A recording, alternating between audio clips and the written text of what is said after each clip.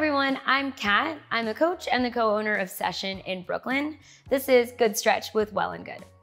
I'm gonna take you through an end of day mobility sequence. All of these movements are really great to help to stay active and mobile and release any tension that you might be holding onto from the day. If you've been doing lots of repetitive movements or sitting or standing in certain positions, this is great for you. All right, so let's get started. All you need is just a little bit of space and maybe a mat if that's more comfortable for you. We'll start standing. Just take some big shoulder shrugs back, really articulating here. Think up, back, down, and forward.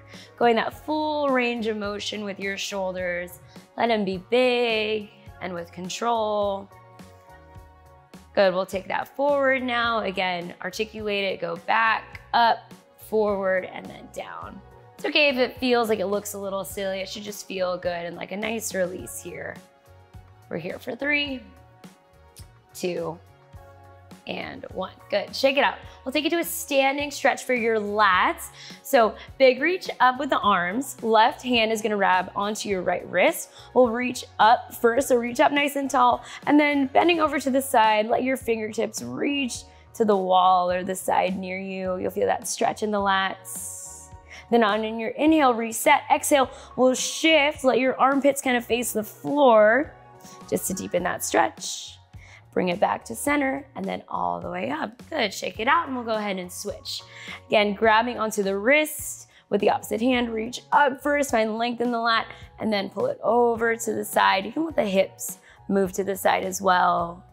Inhale, reset. Exhale, go ahead and shift. Let your eyes look down. Awesome, bring it all the way back up and then shake it out. We're gonna take it to a movement for your thoracic spine. We're gonna take some circles. So open uh, arms, so opening with the chest and then give yourself a nice big hug. From here, feet are shoulder width apart, let the knees have some bend into it. And then with your top of your head, we're gonna draw a circle all the way up and around. Let yourself fold all the way forward and then let the hips go to the other side. Bring it all the way back up to stand. We'll go ahead and take that the same direction. We'll take it two more times this way should feel a nice release in your back. Feel your spine move through all parts of that rotation. Let's go ahead and switch. Open the arms, switch the arm that's on top in that hug, and we'll take it the other way. Again, your head is drawing that nice big circle from top to bottom.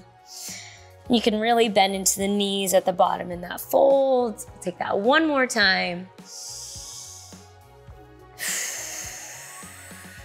Awesome. We're gonna make our way down. So if you have a mat or if you have a pillow or something, you can pop underneath your knee for a little bit of knee support. We'll take it to a half kneeling position. So one knee planted, one foot planted. You can let the back toe untuck. And we'll take it to a runner's lunge to a hamstring stretch. So we're gonna lunge forward, opening in your hip and keep the heel planted and let the toe, the knee just track past your toe. And then we'll push the hips back into a hamstring stretch, toes face up to the ceiling. You'll find length in the backs of the legs now. Now we'll turn that into a flow. So forward, chest is proud, and then back, trying not to let your back round too far forward. Okay, let's take that two more times here. Using your exhale to sink deeper into every part.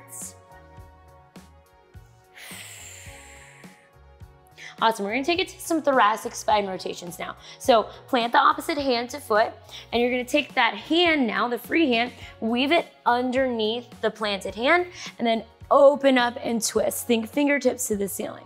And we'll keep flowing through that, right? Because we're keeping it active. We're not holding one position for too long. That way we still have the blood flowing here. And use your breath, exhale to twist. Let's take one more on this side. And we'll do that all on the other side. Opposite knee plants, opposite foot plants, just untuck the back toe.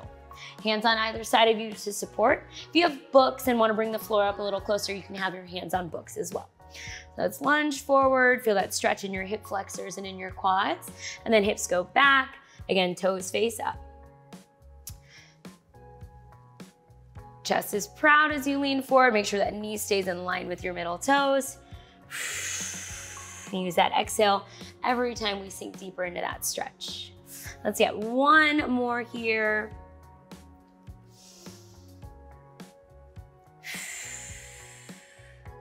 and we'll take it to our thoracic rotations on the other side.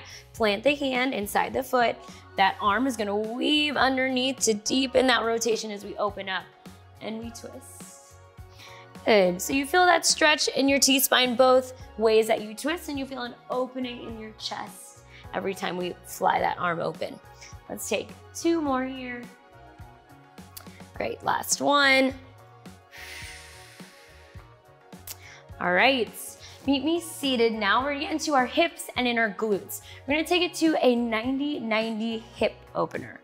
So the way to set up for it, you'll start seated with your knees bent. Your heels are just wider than shoulder width distance. You can have your hands behind you to support you.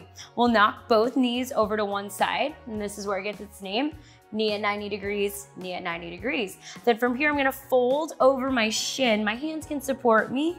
You'll feel that stretch in the glute and in the hip.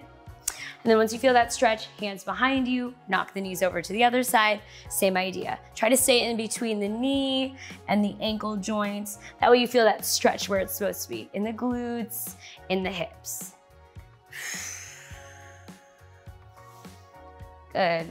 Let's go ahead and once we do this one, we'll get one more on each side.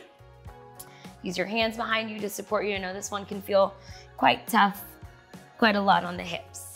Take that one more, especially if you've been sitting all day. This one's a juicy one for you. All right, and then we'll end on our back. So the legs extend, just roll yourself down with control. We'll take some knee hugs to finish. So hug your knee into your chest without crunching your chest up.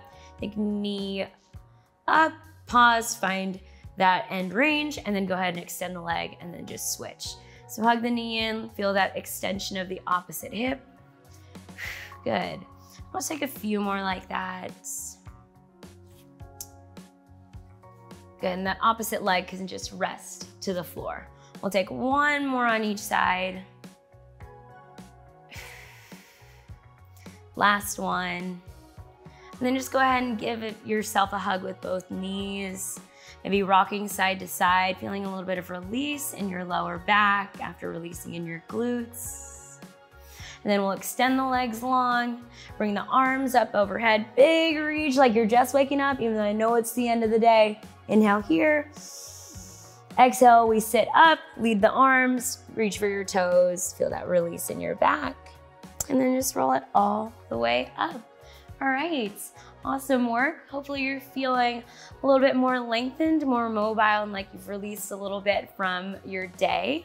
Again, my name's Kat. This was Good Stretch with Well and Good. If you want more videos like this, you can subscribe below.